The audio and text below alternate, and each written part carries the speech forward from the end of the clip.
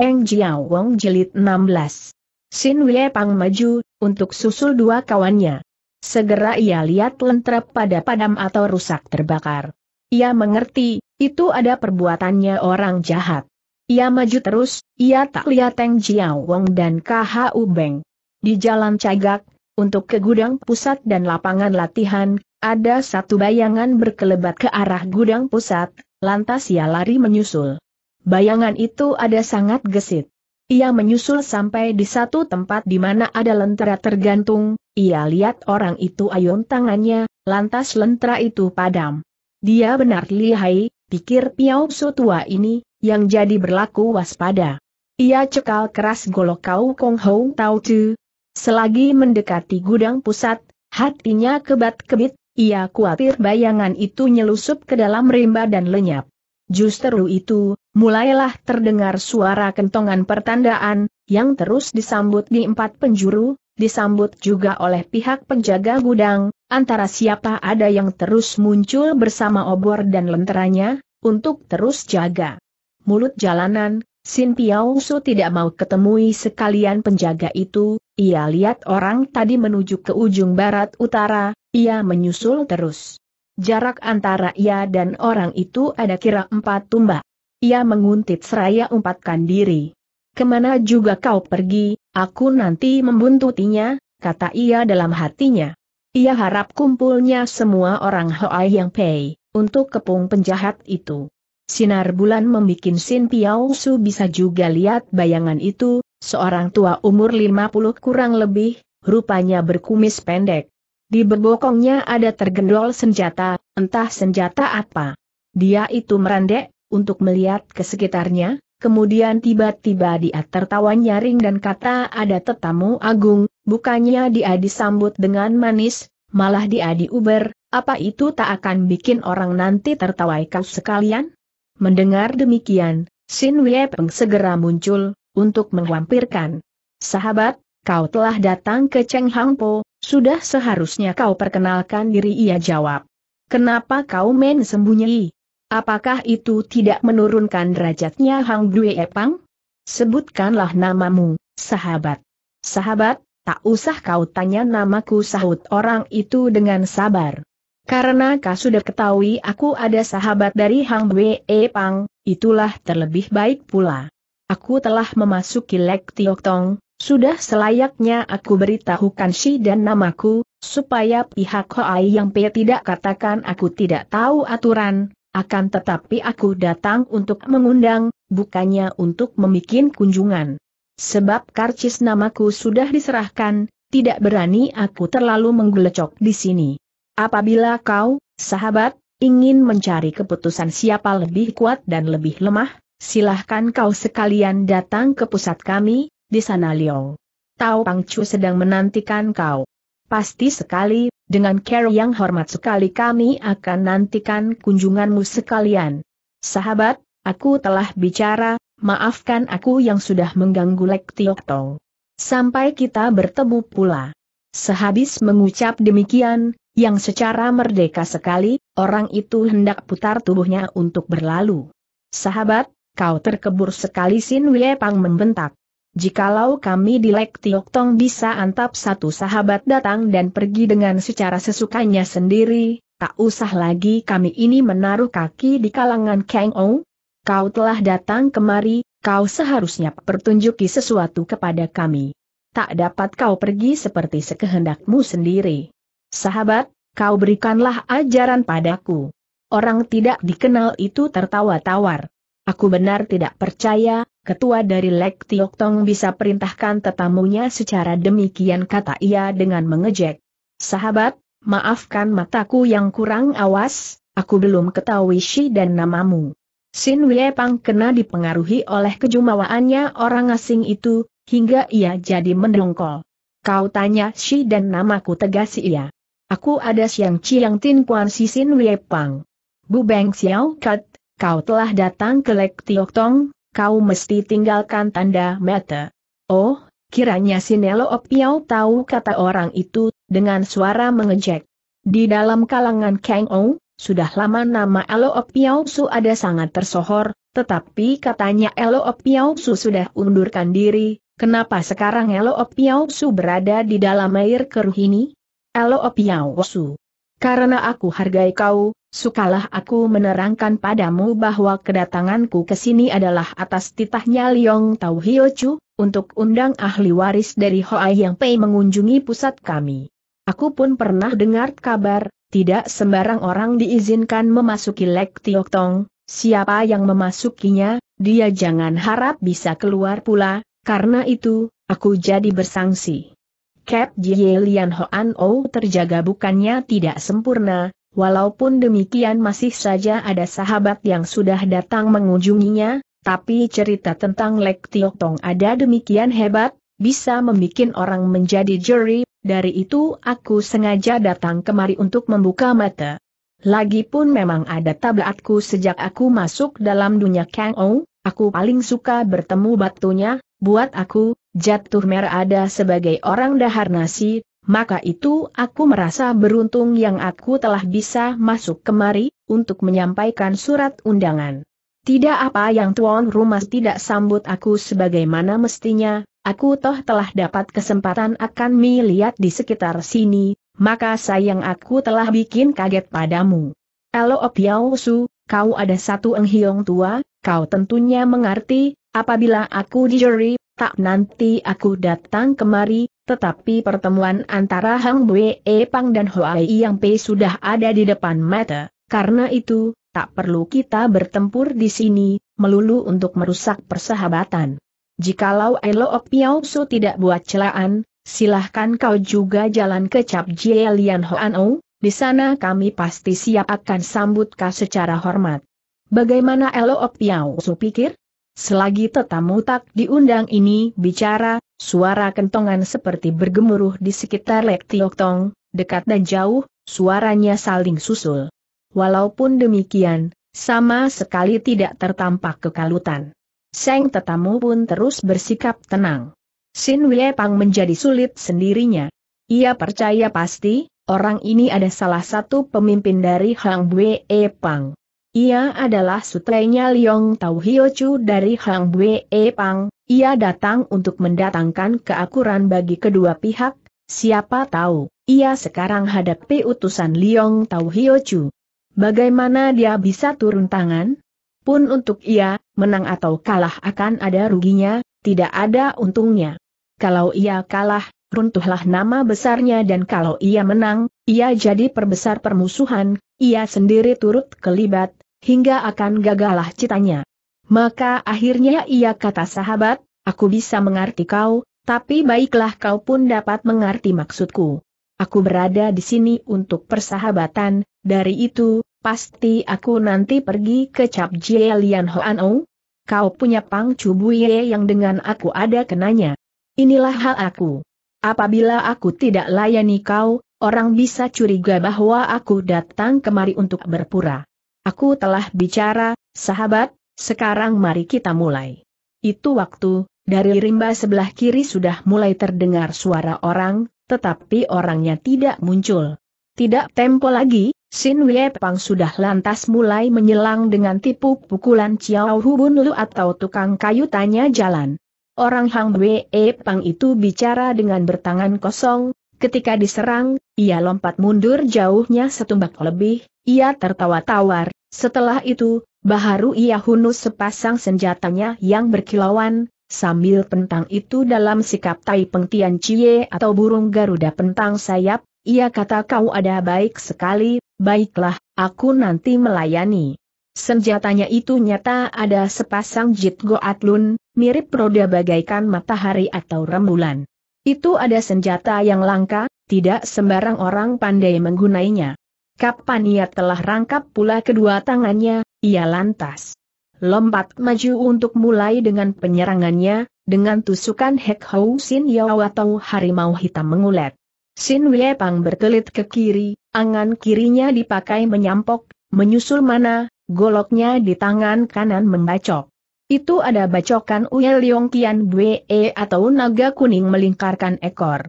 Orang Hang Bwe Pang itu menangkis dengan tangan kanan, yang telah ditarik pulang dengan sebat sekali, berbareng dengan itu, tangan kirinya menyambar ke muka. Menampak orang punya kesempatan, Sin Piao Su terkiut. Ia berdongko, goloknya dari bawah dipakai membarengi menyerang nadi. Ini ada gerakan Bek Wan Teko atau orang hitam putih memetik buah. Lawan itu segera tarik tangannya karena mana, tusukan golok jadi mengenai Jit Goatlun, hingga kedua senjata beradu dengan menerbitkan suara, sampai lelatu apinya meletik. Sampai di situ Sin Wei Pang lantas guna ilmu silat goloknya Ngau Hou Toan Buntu. Ia telah punyakan latihan golok 20 tahun lebih, tidak heran, demikian lanjut usianya, namun ia masih tetap gagah. Tapi di sebelah itu, orang Hang Wei Pang itu pun hai dengan senjatanya yang istimewa, geraknya sangat gesit, dan senjatanya saban mencoba akan bikin terlepas golok lawannya. Maka itu, sesudah jurus dikasih lewat, Wie Pang merasakan bahwa ia kalah gesit. Selagi pertempuran itu berlangsung sampai di situ, tiba-tiba dari arah gudang pusat ada terdengar seruan pocu, lekas kemari. Di sini ada orang jahat seruan ini disusul dengan suara gembreng yang dipukul dengan nyaring dan seru. Orang Hang Wei Pang itu agaknya terperanjat. Maaf, Aku tak dapat melayani lebih lama di Cap Jie Lian Hoan Ong saja nanti kita berjumpa pula. Setelah mengucap demikian, tetamu tak diundang ini loncat mundur tiga tumbak, sesudah mana, ia putar tubuhnya untuk terus lari ke dalam pepohonan yang lebat. Sin Wei Pang tidak mau mengerti yang ia ditinggal pergi secara demikian, ia segera loncat untuk mengejar. Apa Sinelo Opiao Su di sana? Harap tunggu tiba-tiba terdengar pertanyaan dari arah belakang. Piao Su tua ini hentikan tindakannya, ia menoleh. Ia lihat dua anak muda yang ia tidak kenal, tapi ia duga mereka adalah orang Hoa Yang Pei. Maaf, Jie Wiye, aku tak kenali kau, kata ia. Aku hendak kejar orang jahat, ada urusan apa Jie Wiye cegah aku? Elo Piao Su, kami adalah Kam Tiong dan Kam Hao yang ditugaskan menjaga gudang pusat ini, sahut salah satu anak muda itu. Elo Opiao Su sudah berusia lanjut, pun Elo Opiao Su asing dengan tempat ini, maka baik penjahat itu dibiarkan saja, dia toh tidak akan mampu loloskan diri. Baharu Yepang dengar sampai di situ, ia lihat lagi dua orang mendatangi, hingga ia jadi curiga. Ia heran, kenapa tadi, setelah berseru sekian lama, baharu dua pemuda itu muncul. Syukur ia segera kenali, dari dua orang yang belakangan ini, yang jalan di muka adalah Opo Cuci Yetsu Hao. Penjahat itu bernyali besar, kata ketua muda dari Cheng Hang Po, dia berani tempur Elo Piao Su di sini. Biarlah dia nanti rasakan lihainya Cheng Hang Po. Aku yang perintah mereka ini berdua mencegah Elo Piao Su, karena tempat ini ada asing dan di sini ada tempat di mana orang gampang umpatkan diri, aku khawatir penjahat nanti membokong. Bukankah Elo Piao Su kenal penjahat itu? Wie Pang tercengang atas pertanyaan itu. Bagaimana Pocu ketahui aku kenal dia ia balik tanya. Aku hanya dengar keterangan mereka ini bahwa Elo Piao Su kenal orang jahat itu, sahut Chie Tzu Hao. Harap Elo Piao Su jangan curiga, kita justru mengharap sangat akan ketahui hal ihwal si orang jahat, agar gampang kita melayani mereka. Elo Piao Su tentu letih, silahkan kembali ke Kongso untuk beristirahat. Ong Su Heng sudah ajak orang pergi mencari, umpama kata penjahat tidak kena ditangkap, namun sedikitnya tidak nanti dia dapat berlaku jumawa pula. Sin Wei Pang tidak puas, tetapi ketua muda ini bicara dengan manis, tak dapat ia menunjukkan ketidaksenangnya. Sudah biasanya aku berlaku merdeka, hingga tak bisa aku perbataskan diri, berkata dia. Jikalau bukannya orang yang kenal baik padaku, memang gampang sekali orang curigai aku. Aku yang dapat canda penjahat itu, apabila aku biarkan dia lolos, tentu orang sangsikan aku. Harap jangan mengucap demikian, Elo Opiao Su, kata Chiep Tzu Hao dengan sabar sekali. Elo Opiao Su demikian Jiat Sim hendak bantu kami, kami malah sangat bersyukur karenanya. Mustahil kami akan bikin satu sahabat jadi tawar hatinya. Nah, mari, silahkan Elo Piao Su beristirahat. Wie Pang terpaksa bersenyum, terus ia ikut ketua muda itu bertindak ke arah gudang pusat. Penjagaan di sini, ia lihat ada luar biasa. Tengloleng dari obor ditambah banyak, tapi semuanya digantung di atas galah atau di cabang pohon. Di situ sama sekali tidak ada cungteng yang menjaga. Hanya begitu lekas Cie Pocu sampai, dari tempat gelap lantas muncul satu barisan cungteng bersenjatakan panah, satu di antaranya segera melaporkan bahwa di gudang itu tak ada penjahat. Kau semua tetap menjaga dan jangan alpa, kata ketua muda itu, yang pesannya ditaati, sesudah mana, barisan itu undurkan diri pula. Gudang itu memang tidak dijaga terangan hanya dilindungi barian sembunyi, penjagaannya dilakukan luar biasa keras. Umpama ada musuh, dengan hujan panah, musuh akan dicegah dapat menghampirkan gudang itu. Setelah itu, Cie Tsu Hao jalan terus menuju ke Kongso. Selama itu, Sin Wei Pang lihat bagaimana penjagaan telah diatur rapi. Ia jalan dengan tidak kata apa. Ia diam saja walaupun ia dapat kenyataan sikapnya Cie Chu ada dingin. Sampai ke Kongso, dia masih tidak banyak omong. Sampai itu waktu Ong Chu Leong dan KH Ubeng masih belum kembali. Ketika tadi mereka kejar musuh, saking gesitnya penjahat, mereka sedikit terlambat. Pun mereka tidak peduli mereka ada jago tua sudah bisa dilakui dengan tipu daya. Bersuara di timur, menyerang di barat penjahat gunai batu Hui Hongsek untuk padamkan lentera yang tergantung, selagi api padam, ia umpatkan diri, ia tunggu Suheng dan Sutei itu lewat, ia ambil lain jurusan. Karena ini, ia terlihat oleh Sin Wei Pang yang datang belakangan. Eng Jiao Wong dan KH Ubeng menyusul sampai di lapangan latihan ketika ia merandek dengan tiba-tiba. Suheng, kita terperdaya kata ia. Tidak mungkin penjahat menyingkir kemari. Ini ada jalanan buntu. Mesti dia lari mengarah gudang pusat. Dia benar cerdik, tapi kalau dia sampai lolos, sungguh kita malu. KH Ubeng pun insyaf, ia jadi sangat gusar, hingga dalam hatinya ia kata, kalau ia bertemu penjahat itu, ia akan kasih rasa pada penjahat itu. Eng Jiao Wong sudah lantas balik akan menuju ke gudang pusat. Di sebuah tikungan ia lihat satu orang berlari dari arah utara. Siapa ia lantas menegur? Orang itu berhenti dengan tiba-tiba. Oh, pocu orang itu menegasi. Aku adalah Cian Giok yang menjaga di belakang sini. Di belakang sana ada bekas orang jahat, silahkan Pocu periksa. Dengan berikan penyahutan baik Eng Jiao Wong dan KH Ubeng lantas lari ke arah yang ditunjuk, Cian Giok turut bersama, ketika sampai, dia mendahului ambil sebuah lentera Hong Beng Teng, buat dipakai menyului ke tempat di mana ada disembunyikan kelenengan pertandaan, tapi kelenengannya sudah putus. Orang itu benar lihai, kata KH Ubeng. Penjagaan yang demikian rupa tapi dia masih bisa nyelusup masuk dan bekerja. Dia memang bukan orang sembarangan, membenarkan Eng Jiao Wong, yang menunjuk, ke tanah di luar pagar.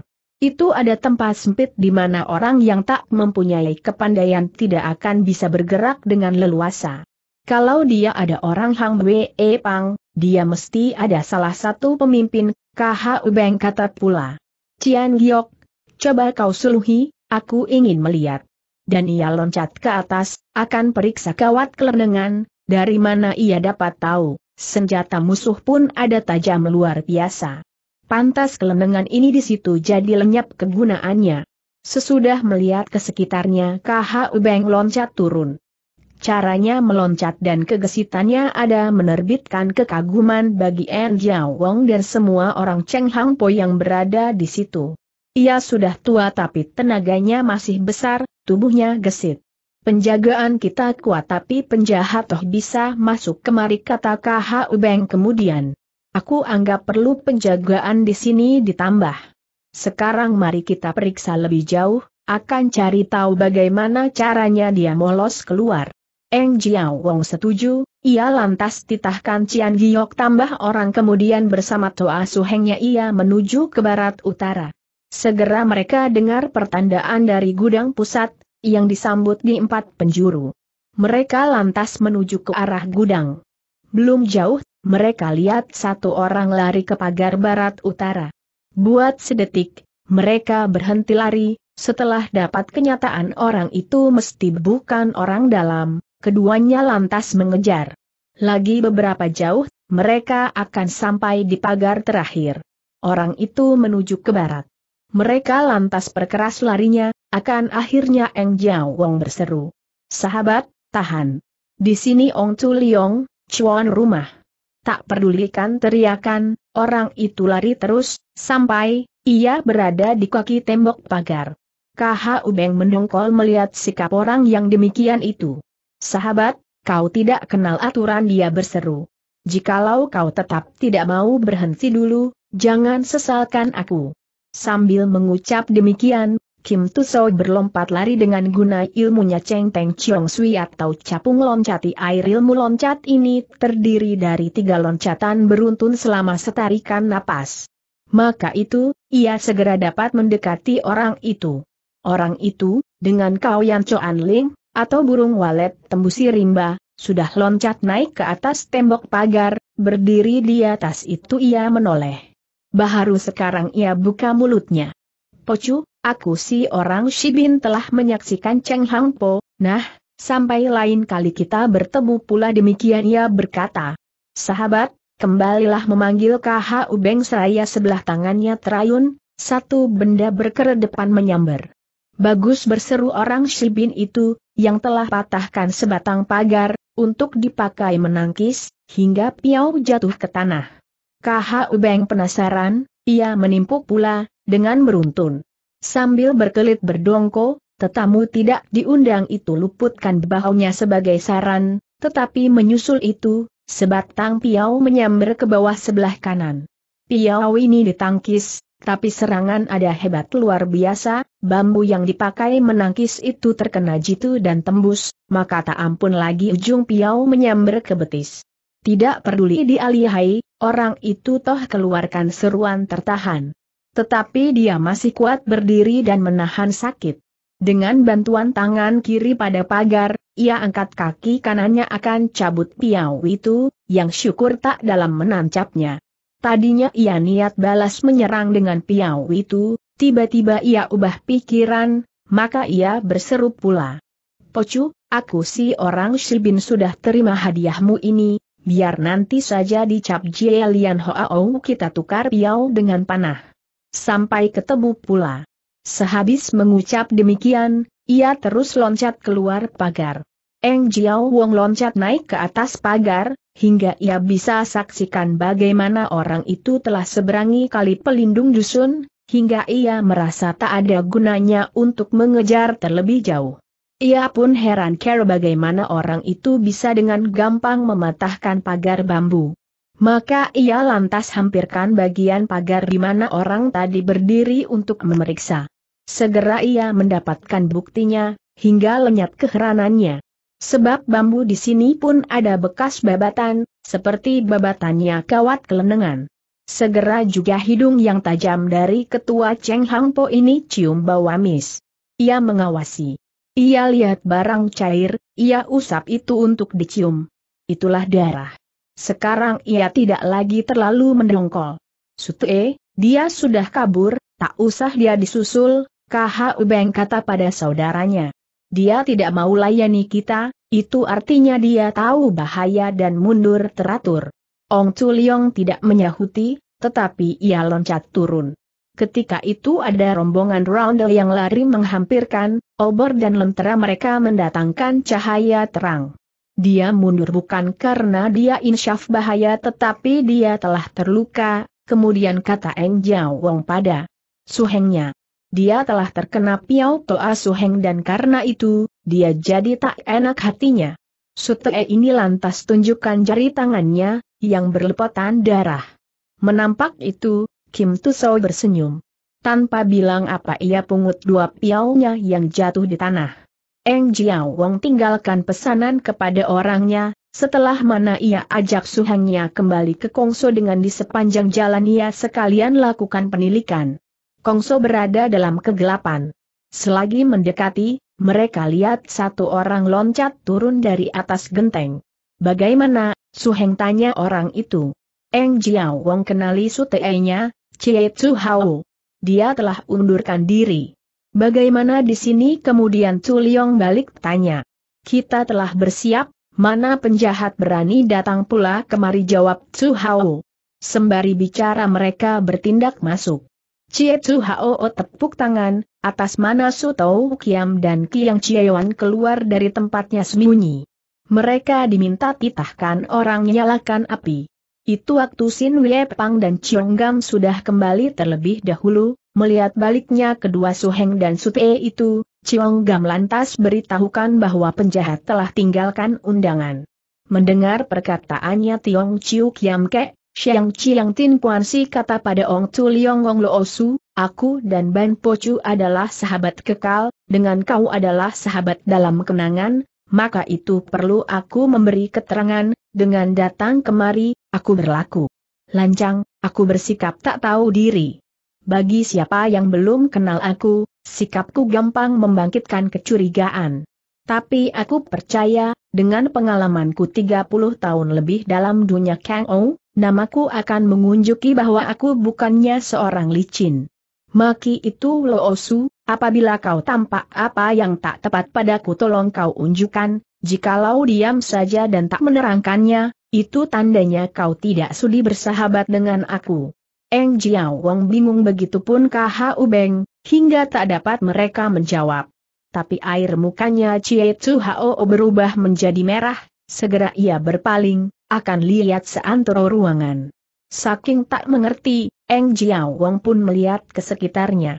Memang benar, dengan Sin Wei Pang ia tidak punya persahabatan, mereka cuma pernah saling dengar nama masing-masing, tetapi karena Piao Su itu ada sahabatnya Liu Tong, ia percaya habis Piao Su tua ini yang datangnya pun justru untuk berikan jasa baiknya. Ia lihat, dari air mukanya, Wei Pang ada tidak senang. Ah, elo Piao Su, kata ia kemudian sambil tertawa, walaupun kita baru bertemu akan tetapi sebenarnya semangat kita telah lama bersahabat. Sudah lama aku Ong Liong kagumi kau, maka bagaimana beruntung aku dengan kunjunganmu ini, yang hendak membantu kami. Elo Su, aku ada sangat bersyukur, dari itu, mana bisa aku curigai kau? Malah aku harus malu sekali, sebagai ketua Hoa yang P aku berlaku tak kepantasan terhadap sahabat. Elo Piao Su datang bersama Ban Sutue, dari itu, justru adalah aku yang harus minta kau maafkan apabila pelayananku tidak semestinya. Lantas Eng Jiao Wong undang tetamunya duduk. Ketua Hoa Yang P ini tidak bercuriga, tidak demikian dengan Chie Tsu Hao dan beberapa orang lain. Ketua muda itu sudah ceritakan tentang pembicaraan dan pertempurannya Sin Wei Pang dengan si orang jahat tak dikenal, sampai penjahat itu singkirkan diri. Menurut Ya Piao Su tua ini pantas dicurigai. Ia dasarkan kecurigaan Aya itu terutama atas keterangannya Kam Tiong dan Kam Mau, yang telah pasang kuping selagi Wei Pang bicara kepada tetamu tidak diundang itu. Tapi Eng Chiao Wong tetap tidak mau percaya, ia percaya kejujurannya Wei Pang. Ia unjuk, tak perlu penjahat kirim metu-metu untuk bekerja di dalam Cheng Hang Po, Buktinya, asal dia mau, penjahat pun bisa kirim orangnya yang pandai akan memasuki Lek Tiok Tong. Sebaliknya pula mereka toh bakal satroni Cap Jie Lian Hoan Ou juga. Maka pesanlah Kam Tiong dan Kam Hao untuk tidak wawarkan pula kesangsian mereka, kata ketua ini kemudian. Kita tak peduli orang mencurigai atau tidak, kita ada tuan rumah, kita mesti jadi tuan rumah, tak boleh kita perlakukan pada tetamu kita. Sutue, kita harus sabar, kita mesti berhati-hati. Cie Hao tidak puas mendengar perkataannya Suhengnya itu. Suheng, bukannya aku tidak hargai sahabat yang datang dari tempat jauh, ia nyatakan, tetapi kejadian ada demikian mencurigai. Aku ada walaupun dalam urusan. Sikapku adalah satu, tapi kali ini ada mengenai Keselamatannya Cheng Hang Po dengan sebelas desanya, aku tidak bisa ambil sikap lain. Kita tidak bisa korbankan jiwa semua saudara kita meluluka, ini satu persahabatan saja. Suheng tahu tablatku, maka jikalau aku keliru, tolong kau berikan pengajaran padaku. Kau ada jujur, Cie Sute, begitulah memang sifatnya seorang Kang Ou KH Ubeng turut bicara. Tetapi orang bisa beda anggapan, orang tak selalu kenal baik sifat masing-masing, inilah yang suka menerbitkan keliru mengerti. Kita di sini berada di antara orang sendiri, apa yang kita bicarakan ada mengenai Ban Sute, dari itu harus kita memandang padanya. Bukankah Ban Sute jujur dan berhati-hati serta cerdik? Bukankah ia ada dihargai sekali oleh para tetua kita? Maka selagi ia sendiri tidak bilang suatu apa, kita harus bersikap seperti dia. Sin Elo Piao Su ada sahabat kekalnya Ban Sute, aku percaya ia tidak akan salah faham adalah tidak baik bila kita bentrok pandangan di antara orang sendiri. Tidakkah demikian, Sinelo Opiawasu? Bukankah benar begitu, Cie Sute? Perkataannya Toa Suheng itu membuat Cie Tsu Hao berpikir, ia merasa bahwa ia telah bicara terlalu tajam. Aku kurang pengalaman, aku bicara seadanya saja, kata ia. Dengan ini pun aku utarakan apa yang aku pikir, lain tidak. Eng Jiao Wong manggut. Ketika itu Ban Li Utong bertindak masuk, Cie Tsu Hao hendak undurkan diri, tapi Shok Beng Sin Ie segera kata padanya Su Heng, tunggu dulu. Di sini ada terjadi salah faham. Sin Lo Piao Su berkeinginan demikian keras untuk bantu kita, sampai ia bertindak tanpa dipikir lagi, hingga kau jadi curigai padanya. Bukankah Suheng dan Elo Su tidak punya persahabatan dan dari itu jadi tidak ada ganjelan? Maka itu, dalam hal ini kau mesti lihat aku. Elo Su adalah sahabatku yang aku percaya habis. Benar telah terbit salah mengerti, baru saja aku telah cari keterangan dan peroleh duduknya hal. Sin Elo Su dan Buye yang adalah Suheng dan Sutai satu dengan lain, Sejak beberapa puluh tahun mereka tidak pernah ketemu satu sama lain.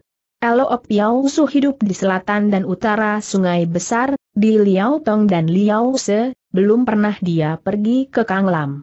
Hal ini diketahui orang banyak.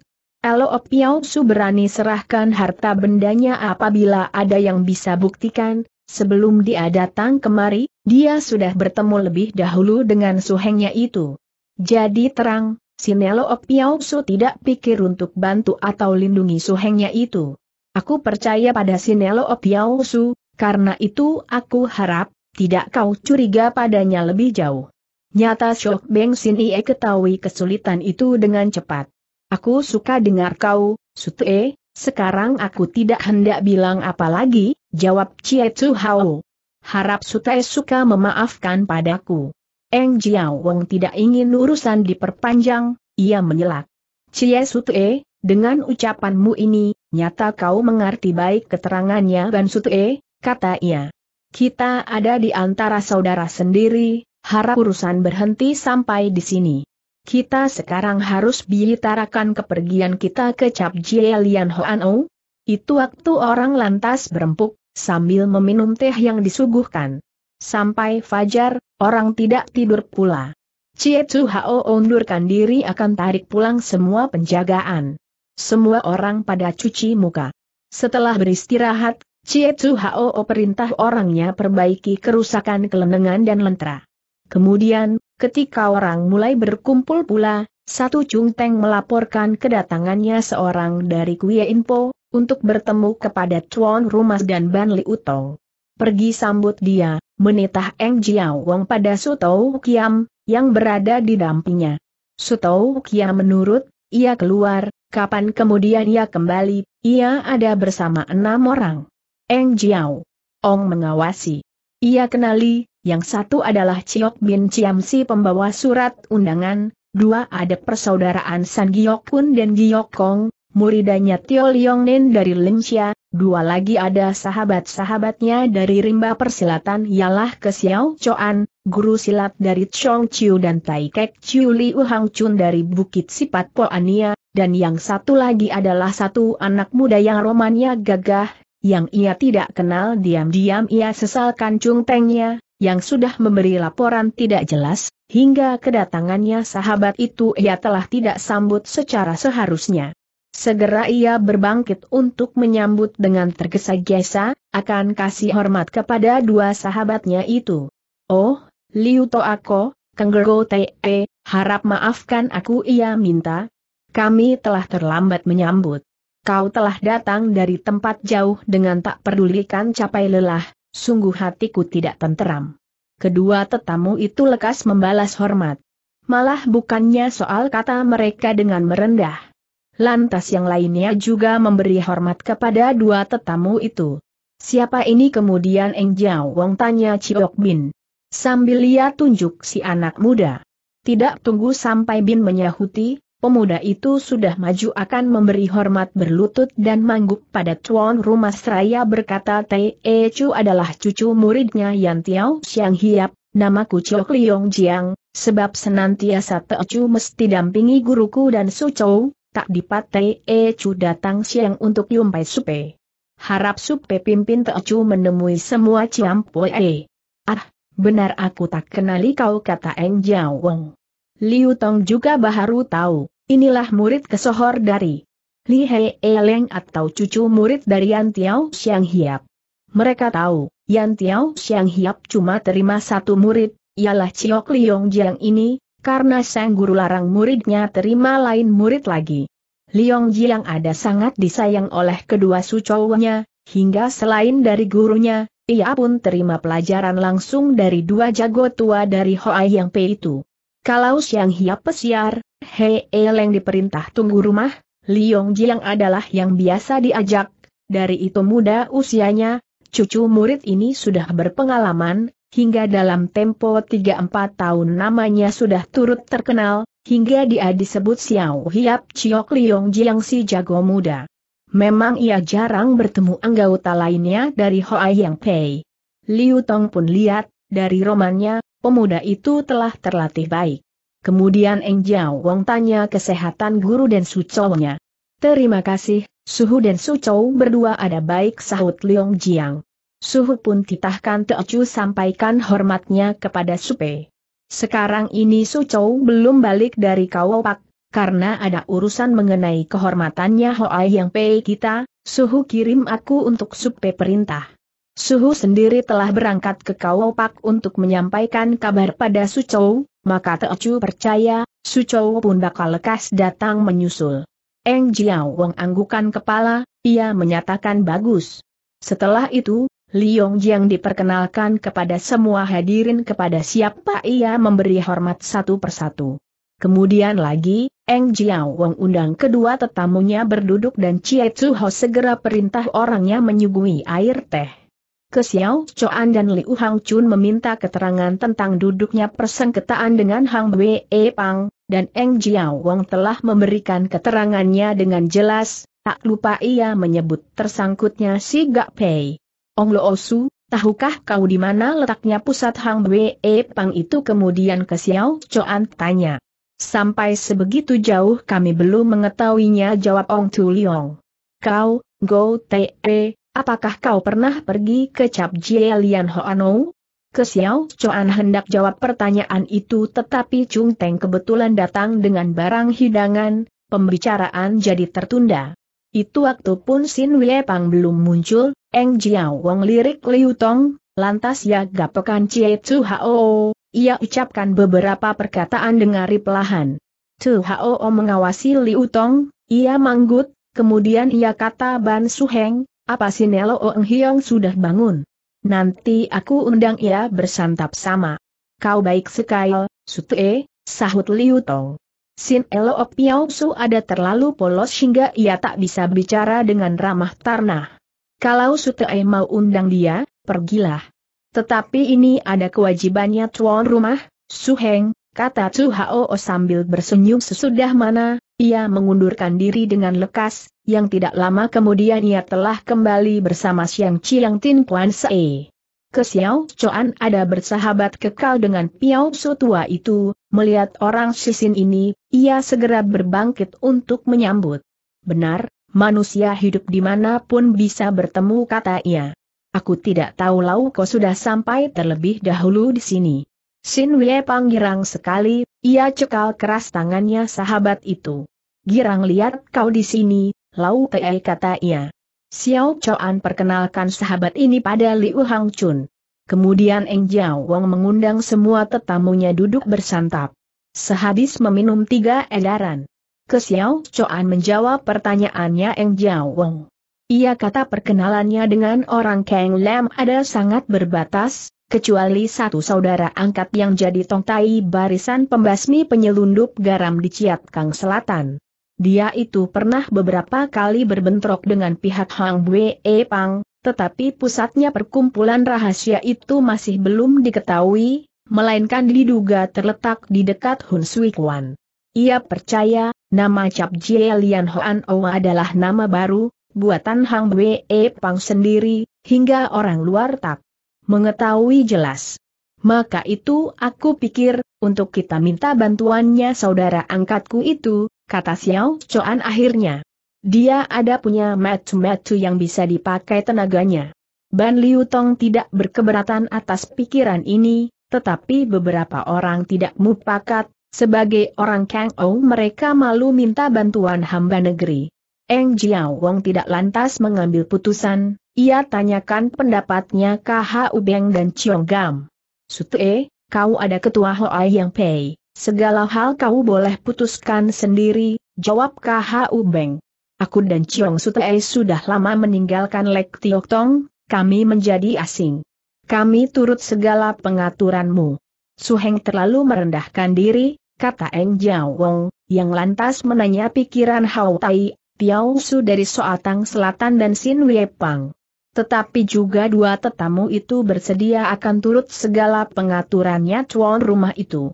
Dengan datangnya si orang Shibin, yang kirim undangannya, aku percaya murid Kuin Hang dan murid si Gak Pei, Siu Beng, sudah diculik sampai dicap Jie Lian Hoan O, nyatakan Eng Jiao Wong. Karena itu, Aku lihat tidak ada lain jalan daripada bersikap keras terhadap Hang Bue E Pang.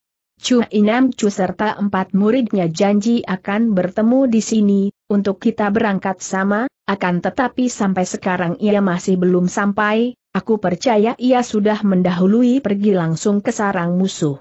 Maka itu, lebih perlu pula kita perlekas keberangkatan kita. Bagaimana Tiu Wei pikir apabila kita berangkat sehabisnya dahar? Kim Tusou KH Ubeng dan yang lain nyatakan akur. Sampai sekarang ini, masih ada orang undangan yang belum tiba, Eng Jiao Wong kata pula, di antaranya, Kipin, murid ketiga dari Ban Sutue, masih belum balik. Maka aku pikir akan minta Ban Sutue bersama Kengotle dan Liong Jiang menantikan untuk sementara di sini, buat tunggui mereka yang terbelakang. Tidak peduli berapa jumlahnya yang datang belakangan, mereka boleh diminta segera menyusul ke jalanan Auhetu di Ciat Keng Selatan, untuk berkumpul di hotel terbesar di Tong Pengpa di luar kota Lok Cheng sebelah timur. Di hotel mana kita singgah, di situ tentu kita akan memberi tanda daun bambu dengan kapur. Dan kau, Cie Sute, setiap kali ada datang tetamu, aku meminta kau suka sambut dan layani mereka dengan baik, Terutama, tidak peduli mereka punya bekal cukup atau tidak, kau mesti berikan setiap orangnya seekor kuda pilihan dan uang 30 tel. Kau pesan untuk mereka lekas menyusul ke Lok Cheng. Jangan khawatir, Su Heng, serahkan itu padaku, Cie Tsu Hao menjawab. Bagus, Su Tae. Sekarang ne tolong kasiapkan belasan kuda, tentang pelananya, tak usah yang mewah, asal yang kuat kau pun harus bekalkan aku uang 500 sel perak, lebih baik semua perak hancur, kau pecah itu dalam empat bungkus, supaya gampang dibawanya. Dan jangan lupakan bulu angsa. Tu Hao memberikan penyahutannya, lantas ia mengundurkan diri. Eng Jiao Wong menghadapi orang banyak untuk kasih tahu, perjalanan akan dilakukan di darat, karena jalanan air, walaupun lebih aman tetapi ada sangat lambat. Ia minta maaf, selagi orang baharu sampai dan perlu beristirahat, ia mesti minta orang berangkat dengan segera, dengan tunggang kuda. Ia hunjuk, tujuan pertama adalah kota Hong Tai. Karena bisa jadi mereka akan berpapasan dengan tentara negeri atau pemberontak, ia usulkan untuk mereka menyamar sebagai rombongan Piao Su saja. Untuk itu mereka bisa pakal bendera Gie Seng Piao Kiok dari Hong Yang Hu. Ia tanya, orang akur atau tidak dengan usul penyamaran itu. Jangan lo osup pikirkan kami, kata beberapa orang. Kami memang datang untuk membantu. Hao Tai pun nyatakan, jangankan orang yang diundang, walau yang tidak diundang pun, bersedia akan memberikan tenaganya. Ia hanya tanya apa bukan lebih bak memakai saja benderanya sendiri. Ia memang ada bawa benderanya bendera dari Hoa yang Piao Kiok. Ia telah tutup Piao Kioknya, ia ingin undurkan diri benderanya itu, sedianya ia hendak simpan di Lek Tiok Tong. Begitupun baik Eng Jiao Wong nyatakan setuju. Sekarang segala apa sudah selesai, hari ini kita berangkat. Tidak lama, Tu Hao balik bersama dua cungteng yang bawa nenampan arak pocie dan cangkirnya. Tu Hao nyatakan, karena ia tidak bisa ikut, ia hendak kasih selamat jalan saja sambil mendoakan hasil mereka. Kemudian, paling dulu ia haturkan secawan pada Sin Wei Pang. Melihat sikap orang yang ramah tamah itu, Piao Su tua ini keringkan cawan itu sambil menghaturkan terima kasih diam-diam ia telah janji akan gunakan sisa umurnya untuk kebaikannya Hoa Yang Pei, supaya orang Shichie ini saksikan akan kesungguhannya. Tak pernah ia menyangka, ia sebenarnya sedang menghadapi ancaman bencana hebat. Kemudian Cie Tsu Hao haturkan selamatnya pada yang lain, sedang mereka yang lebih muda usia dan tingkatannya, menyambutnya sambil mendahulukan berdiri siang. Dengan begitu, beberapa waktu telah dilewati, sampai kira jam 9 atau 10 siang baru orang selesai dan siap untuk berangkat. Eng Jiao Wong masih tinggalkan pesan pada orang tua dari sebelas desa, yang datang untuk mengasih selamat jalan padanya. Sama sekali telah disiapkan 17 ekor kuda, kecuali buntalan sendiri, setiap kuda dibekalkan bungkusan rangsum kering dan air dan seikat rumput, untuk perbekalan di tengah jalan. Melihat itu, Liu Hang Chun ketelitiannya Cie Tsu Hao, ia puji pengaturan sempurna dari Eng Jiao Wong. Kepada suhengnya, Cie Tsu Hao menyerahkan segumpal bulu angsa, sedang kepada sesuatu orang, ia kasihkan dua batang, keperluannya ialah sebatang untuk dipakai di waktu malam, guna kenali kawan sendiri, dan yang sebatang lagi untuk disimpan khawatir ada yang hilang. Eng Jiao Wong telah ajak Kam Tiong dan Kam Hao serta Tei Eli Tou Hei E Hao Weng, Chong Tau Bak dari barisan rondaan Lek Tiok Tong. Dia ini, walaupun belum berumur 30 tahun tetapi sejak usia 19 sudah masuk ke dalam dunia Kang Ou, dalam perusahaan Piao, hingga ia mendapat banyak pengalamannya. Ia masuk dalam rombongan Lek Tiok Tong ia tidak puas terhadap sikap kawannya, yang tak mau pandang dia. Di Lek Tiok Tong ia unjuk kepandaiannya hingga dari Chung Teng biasa Chu Hao angkat dia jadi laubak kepala.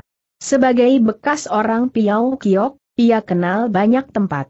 Ini sebabnya kenapa ia dapat gelalarannya Tei Elisi Peta Bumi. Di akhirnya, setelah berikan pesan terakhir pada Chu Hao, yang antar ia sampai di jembatan gantung, Eng Jiao Wong dan rombongannya semuanya 17 orang, berangkat meninggalkan Cheng Hang Po. Baharu melalui 30 li dari Cheng Hang Po, jalanan sudah tak licin lagi. Di mana-mana ada kedapatan tentara pemberontak. Hanyalah karena ada bendera piau dari Hao Tai, tidak pernah mereka dapat rintangan adalah setelah sampai di daerah perhentian Angsim Ek, mereka mulai pusing kepala. Di sini ada daerah tentara negeri, Saban menemui pos tentara mereka ditanya ini dan itu, ada kalanya mereka menemui tentara yang melit. Eng Jiao Wong menjadi tidak puas, karena perjalanannya jadi terlambat satu jam lebih. Kenapa gusar, Su Heng Chiongga memperingatkan.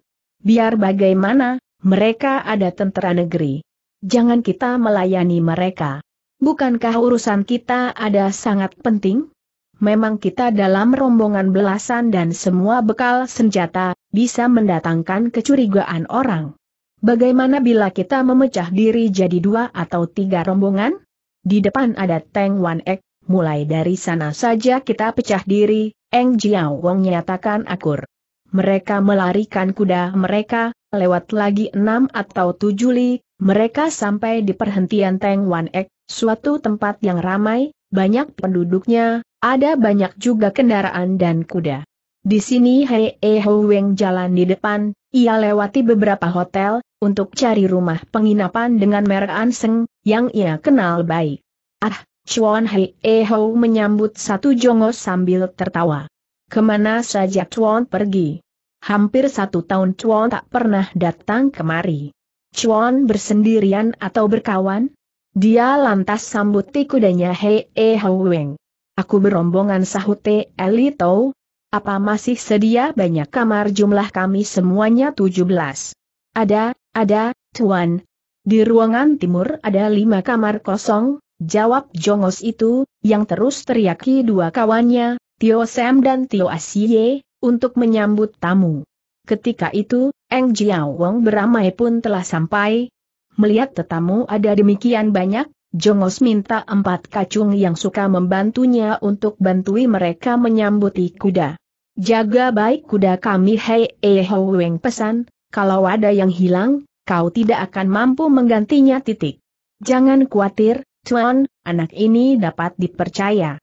Meski demikian, Hei E Ho Weng masih mengancam juga empat bocah itu, sesudah mana, mereka masuk ke dalam diantar oleh Asye, hingga mereka memenuhi ruangan timur. Waktu itu sudah maghrib, sebentar lagi orang akan nyalakan api. Selagi bertindak masuk, Eng Jiao Wong sengaja jalan ayalan, untuk perhatikan hotel itu. Ia percaya, hotel ini benar hotel tua. Ruangan ada besar dan terawat baik. Jongos, kunci pintu begitu Li Utong dengar selagi ia lewat. Ia lantas menoleh, hingga dari kamar nomor tiga di sebelah barat ia lihat satu toosu atau imam muncul. Di muka pintu dia bertubuh tinggi dan besar, rambutnya dikonde dan ditusuk dengan sebatang tusuk konde pualam, mukanya merah, sepasang alisnya gomplok, dua biji matanya bersinar tajam, hidungnya besar seperti hidung singa, mulutnya lebar, romannya bengis. Dia pakai jubah biru dengan leher hijau, ikat pinggangnya kuning oranye. Di atas sepatunya ada kaos kaki putih. Dan tangannya memegang kebutan. Sekelebatan saja Li Utong melihat, ia percaya imam itu bukan imam suci. Tentu saja, tak dapat ia pedulikan imam itu. Ia hanya lihat imam itu pun perhatikan padanya. Ia dam saja. Sesampainya di ruangan timur, rombongan ini memecah diri, kaum tua dengan kaum tua, dan kaum muda seturunya di dua kamar, yang belakangan ini adalah Su Tau Kiam, Cho Heng, Hang Lim, dua saudara Fang Yok Bun dan Yok Siu dua saudara Kam Tiong dan Hau dan Hei E Hau Weng. Jongo sudah lantas menyuguhkan teh, kemudian merek memasang api. Kam Tiong dan Kai Hau bersama Hei E Hau Weng pergi memeriksa kuda mereka, ketika mereka kembali ke kamar sudah waktunya bersantap malam, bersantap sama di kamar utara. Sehabisnya dahar, Eng Jiao Wong timbulkan soal memecah rombongan menjadi dua saja yang kemudian dapat kelompokan, rombongan pertama sendiri Eng Jiao Wong bersama Hao Tai dan Sin Wei Pang serta Su Tau Kiam, Hang Lim, Hei E Ho Weng dan Cho Heng, dan rombongan kedua Ban Li Utong bersama K.H. Ubeng, Chiong Gam, Wei Siu Bin dan Kam Jiang serta Fang Yok Siu, Kam Tiong, Kam Tiong, Kam Hao dan Chiok Bin. Pada permulaan jam pertama, Jongos datang untuk tambah pembaringan darurat, maka ada kemudian orang bisa merebahkan diri untuk beristirahat. Kemudian, lewat jam 2 hotel ini sepi kebanyakan tetamu ini sudah tidur. Ban Liu Tong merasa hatinya sudah tenteram, ia teringat kepada si Imam Roman bengis. Seorang diri ia keluar dari kamarnya akan periksa ruangan luar, akan lihat kamarnya anak muda semua sudah tidur kecuali dua saudara Fang dan Sutou Kiam asik pasang ngomong. Liu Tong pesan mereka akan awas terhadap api dan supaya tidur siang, karena besok mereka akan berangkat pagi. Ketiga anak muda itu menjawab akan perhatikan pesan itu, setelah mana, Siok Beng Sin Ie keluar pula. Ia pergi ke lain ruangan di mana ia tidak tertampak orang pekarangan pun gelap. Ia jalan terus sampai ke sebelah depan di mana masih ada beberapa tetamu asik bicara sambil hadapi teh. Kemudian ia pergi ke ruangan barat di mana sengaja ia melewati jendela hingga ia tampak, dalam kamar nomor tiga, masih ada cahaya api suram, hingga tak dapat diketahui, si imam sudah balik atau belum. Ia hentikan tindakannya, ia pasang kuping. Ia dengar suara gerakan orang yang meniup api. Dia tentu mau keluar, ia pikir, terus ia mengenjutkan tubuhnya ke atas payon genteng utara di wuwungan mana ia mendekam, akan sembunyikan diri sambil pasang mata. Ia tidak berani sembrono, karena ia duga si imam tentunya lihai. Segera ia lihat berlompatnya satu bayangan, sangat cepat, ke timur, ke atas rumah, akan menuju ke sudut utara. Di sini tentu ada kecampuran orang jahat, Liu Tong menduga. Mungkin mereka sedang menguntit rombonganku. Baik aku lihat imam ini, apa dia mau. Ia lalu bergerak, untuk menguntit. Dia bernyali besar, kata ia dalam hatinya, apabila ia tampak bayangan itu bayangan si imam yang turun ke bawah. Orang masih belum tidur semua, dia berani mengintai, baik aku kasih rasa padanya. Liu Tong pergi ke utara, ke sudut timur dari kamar, akan menguntit terus. Imam itu sedang mengintai di jendela kamar timur, lalu di jendela kamar utara, dia pun rabah pedangnya, akan tetapi dia tidak mencabut itu. Asal kau turun tangan pikir Syok Beng Sin Ie. Imam itu tidak berbuat apa, ia loncat naik keluar hotel. Liu Tong heran, Tadinya ia niat kisiki suhengnya, tapi segera ia ubah pikiran. Ia anggap, baik ia coba menguntit. Maka itulah lantas menyusul. Ia lihat si imam naik ke genteng rumah penduduk, jalan di atas itu ke timur, sampai di mulut desa. Di sini, dia belok ke timur utara. Lompatannya, jalannya, ada gesit dan cepat sekali.